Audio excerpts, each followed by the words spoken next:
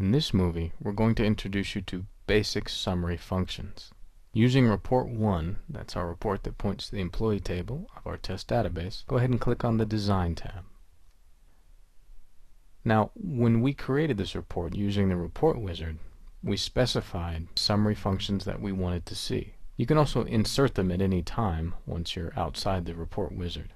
The summary fields themselves can actually only be placed in the report sections or the group sections of a crystal report. You may not place summary functions into the detail section. If I take my mouse over the summary field, it gives us a quick tag of what the summary field is. You can also right click on the field to see what kind of summary it is and what fields it's summarizing. In this case, we're summarizing the first name, and the chosen summary is distinct count. The summaries that are available to you are strictly based on the type of field that you've chosen to summarize. For example, first name is essentially a text field. No numbers, you can't add first names, and Alex plus John does not equal 26. What you can do with first names, however, according to Crystal, are the following. You can choose a maximum, a min, a count, a distinct count, mode, and a few more. You can also change a summary at any given time. Let's say we didn't want to summarize what the first name was, but instead wanted to summarize employee ID. Go ahead click on the Preview tab and then scroll halfway down. As we can see, the distinct count of employee ID is 25.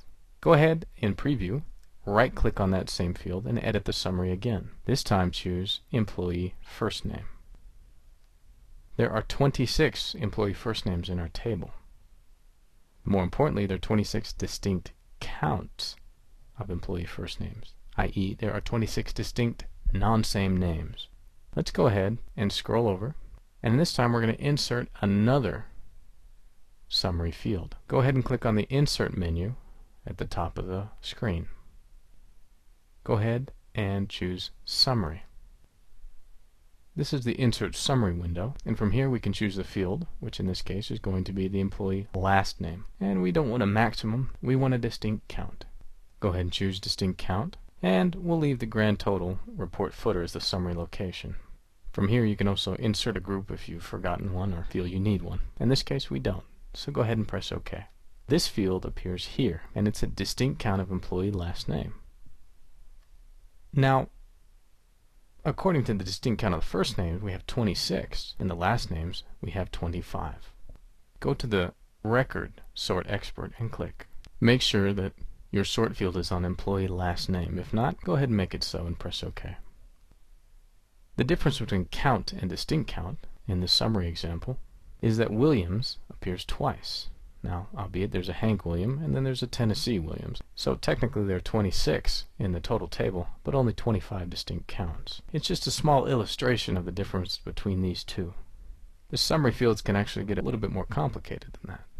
Go ahead and right click on the summary field underneath last name. Choose Edit Summary. This time instead of a count or distinct count, go ahead and choose Maximum and press OK.